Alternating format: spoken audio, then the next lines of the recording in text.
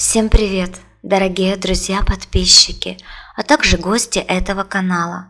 Представляем вашему вниманию Ольгу Филиппову. Муж-предатель, известный актер и мысли о смерти.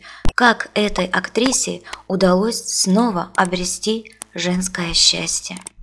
В кинематографической карьере Ольги Филипповой более 60 фильмов и сериалов и множество сыгранных разноплановых и интересных ролей – Всенародное признание к этой актрисе пришло после роли Кармен в ленте «Райские яблочки». Думаю, многие смотрели этот замечательный сериал. Это не первая работа, где Ольге досталась главная роль, но именно она по-настоящему раскрыла ее талант и затронула души многих телезрителей.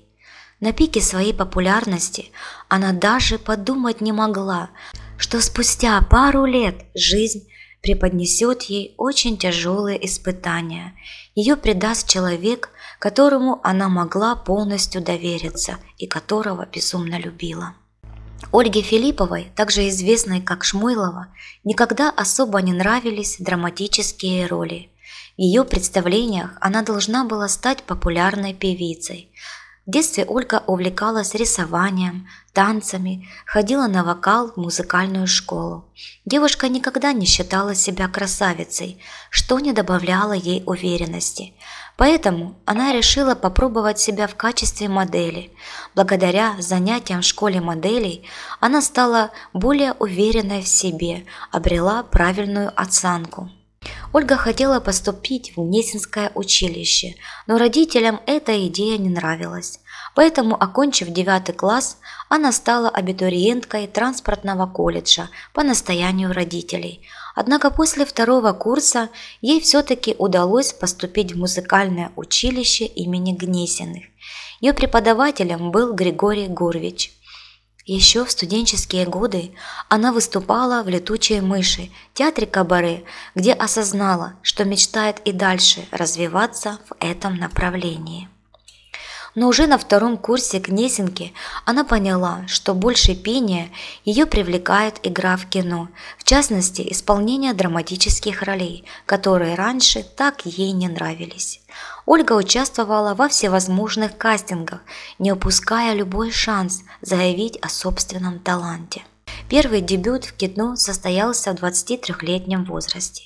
Поначалу это были небольшие роли в многосерийных работах, но так начинали многие известные артисты – но по-настоящему ей удалось раскрыться в киноленте «Кармен», где главная героиня, которую блестяще исполнила Ольга, была преступницей с очень буйным нравом. Впервые с Вдовиченковым Ольга познакомилась на премьере фильма «Кармен». Во время беседы с директором картины мимо проходил Владимир Вдовиченков, который, поздоровавшись с коллегой по цеху, сделал вид, что не заметил привлекательную девушку. Такое поведение мужчины слегка обескуражило Ольгу перед самой премьерой, где она снялась в главной роли. Ольга и не догадывалась, что Вдовиченков не собирался смотреть кино с ее участием. Он просто пришел на встречу, которая по воле обстоятельств была назначена в кинотеатре. Так и состоялось первое, пусть и не самое эффектное знакомство молодых артистов. Позже на одном из светских мероприятий они снова встретились, но теперь актер сразу обратил внимание на привлекательную девушку.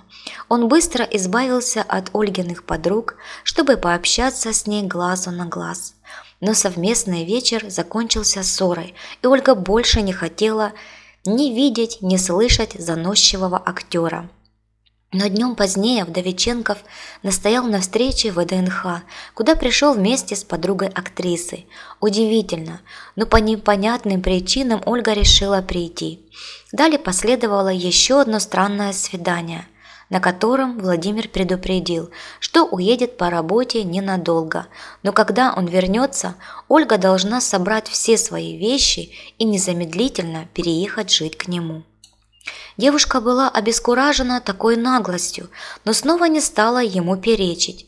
Она была удивлена силой, напором и уверенностью, тем, как он стремительно и быстро принимал серьезные решения, к которым она не была готова. И только прожив вместе несколько месяцев, Ольга поняла, что по-настоящему влюбилась и очень сильно. Актер до встречи с ней уже трижды был женат. При этом с Ольгой он не торопился отправляться в ЗАГС. Первое время он проявлял знаки внимания и намекал на замужество, но в довольно шуточной форме, а для Ольги штамп в паспорте особо ничего не значил. Поначалу отношения возлюбленных были нестабильными из-за необоснованной ревности. Буквально каждый шаг Ольги был под постоянным контролем с его стороны. Гражданский супруг был против посиделок жены с подругами, и даже мимолетный взгляд мужчин на Ольгу заканчивался сильным скандалом. Он обвинял ее в том, что она флиртует. Со временем ревности поутихли, но Ольга уже сама не могла жить спокойно и начала контролировать гражданского супруга. Перетирки в семье проходили долго и болезненно. Ольга несколько раз собирала вещи и хотела бросить Владимира, но тому удавалось ее возвращать. После рождения общей дочери Вероники отношения пары приняли новый оборот. Они наслаждались совместной жизнью, которая из ада превратилась в рай. Они строили долгосрочные планы и считали себя очень счастливыми. Однако их чувства постепенно охладевали. Ольга и Владимир полностью ушли в работу. Все закончилось расставанием, хотя и краткосрочным. Инициатором, как ни странно, был Владимир.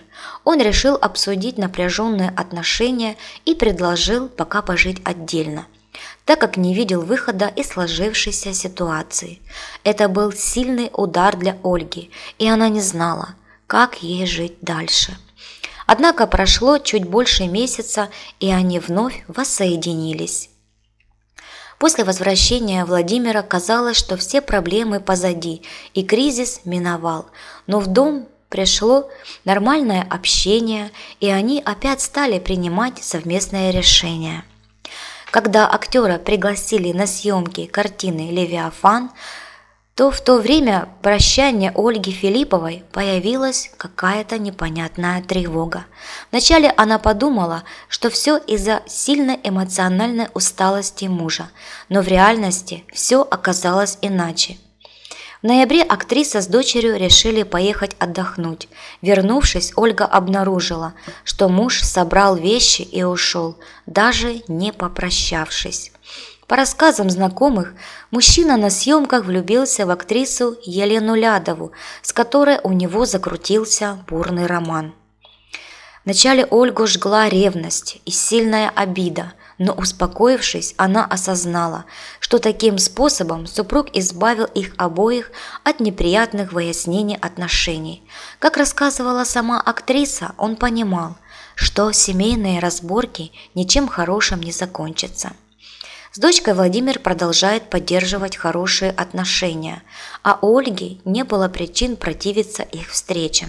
Она мудрая и умная женщина, а умные и мудрые женщины именно так и поступают. Тем более это помогало дочери проще перенести расставание своих любимых родителей. Прошло время, и обида на бывшего мужа ушла из сердца Ольги. Она считает, что злоба, затаившаяся внутри, просто-напросто разрушает человека полностью и бесповоротно. На сегодняшний день Ольга пытается вернуть былое счастье и находит радость в разных мелочах. Она продолжает сниматься в фильмах, наводит уют в квартире, много времени уделяет единственной дочери и нежится в лучах теплого южного солнца. Свою личную жизнь актриса полностью закрыла от глаз посторонних. По признанию Ольги, у нее есть любимый человек, но рассказывать о своих отношениях и кто он она никому не собирается. Главное, что ей удалось найти новый смысл жизни. Ревность в актерской среде не редкость. Иногда доходит до того, что талантливые и известные люди готовы буквально испепелить друг друга и живут рядом, постепенно отравляя и разрушая жизнь друг друга. Иногда это может привести к самым непредсказуемым последствиям. Дорогие мои, пишите свое мнение в комментариях, что вы думаете по поводу этой ситуации и этой замечательной актрисы. Если честно, она мне очень нравится. Я почти все фильмы с ее участием смотрела и могу сказать, что она действительно талантливая и разноплановая актриса. Дорогие мои, я благодарю всех за внимание, желаю вам всего самого доброго, всего самого замечательного. Берегите себя, своих близких и будьте очень-очень счастливы. Божьей помощи, помощи ангела-хранителя, Божьей благодати. Всего вам самого доброго и замечательного. Еще раз всех благодарю за внимание. До новых встреч и всем пока.